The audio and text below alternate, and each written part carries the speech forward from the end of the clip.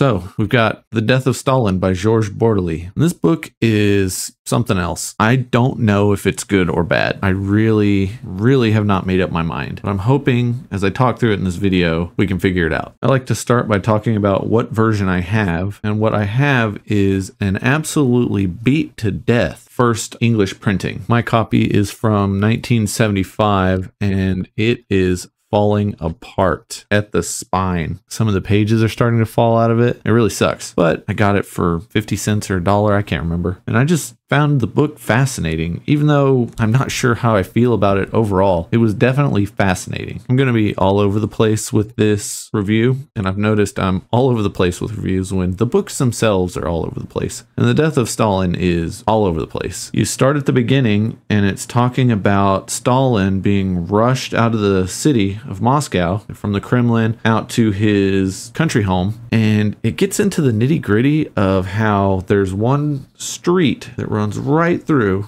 and you have to pass a special background check to be allowed to live on the street that Stalin drives down to leave town. And there's secret police all over this street. And when he goes to leave, all these secret police come out. They clear the street, they clear people off the street, and they're guarding at every corner all the way through. And they fly out of town in this motorcade with Stalin's limousine at, you know, 100 miles an hour or something like that. They can get out of Moscow in mere minutes when it would take anyone else close to an hour. Just weird stuff like that. I mean, he gets into the nitty gritty. He talks to eyewitnesses for it, and they're like, oh, yeah, blah, blah, blah, it drove by, all this kind of thing diving into super nitty gritty things is a theme through this entire book. And I will say that even when I got lost, because he's talking about people I know nothing about and was not willing to take the time to look up on Wikipedia, uh, it's interesting. The prose is very good. And I say prose because I don't know what word I'm supposed to use. The author does a fantastic job of sinking you into your surroundings. So the weightiness of being in Stalinist Russia and the paranoia and just the weird things going on. By the way, this book could just be called All the People Stalin Killed Before He Died. I mean, every single page in this book is like, oh, well, yes. And there was this guy, and him and Stalin were really close, and he helped Stalin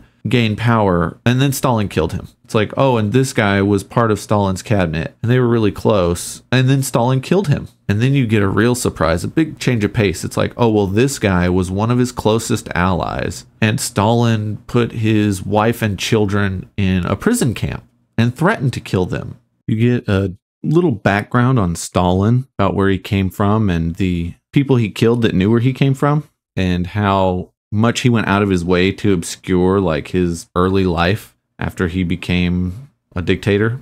And it talks about the power plays of the people that were trying to stay like close enough to Stalin for an opportunity power, but just far enough away that he didn't kill them and just weird things like that. And then it goes into the whole mess in uh, Soviet Russia of the the quota systems and the five year plans and all that.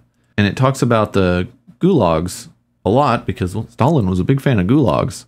One of the things that annoyed me about the book, also forced me into reading it in record time, was the book is one long tease. It's called The Death of Stalin, but I don't even think he dies until the last 30 pages of the book the whole thing is just one constant tease. Each chapter feels like it kind of builds towards Stalin dying. Then he doesn't. Then the next one is like, well, and then this happens. And then I'm like, is Stalin dead yet? Is he going to die? How's he die? I honestly don't know. I want to know. And then nothing. And then nothing. And like I said, it's me reading, wanting to find out how Stalin died and what happened afterwards. But most of the book is about all the people he killed. Then, after Stalin is dead, you have what seems to be the most bizarre power struggle that lasts a few days. And then within like months of his death, everyone's like, who? Like, oh, yeah, yeah, you know, he did things. This book is probably incredibly entertaining for people who know a lot about the Cold War or have gotten real deep in the weeds when it comes to the history of Soviet Russia. But for me,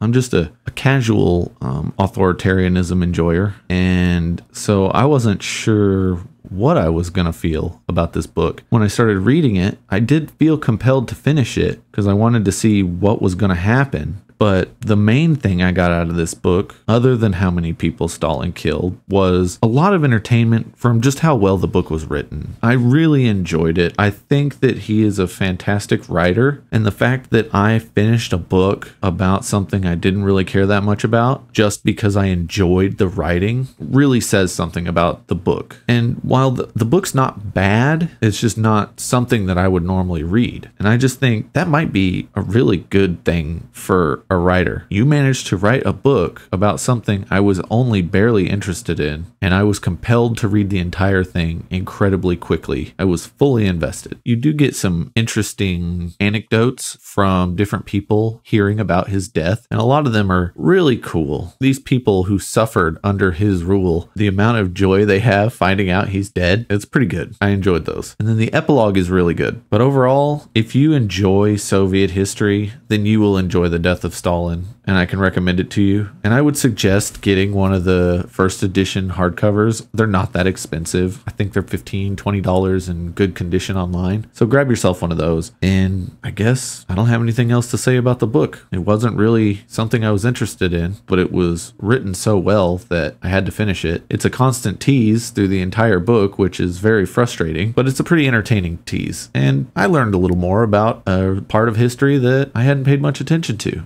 beyond the whole grand scheme of things. So overall, I don't know what else to say. So I'll see you next time.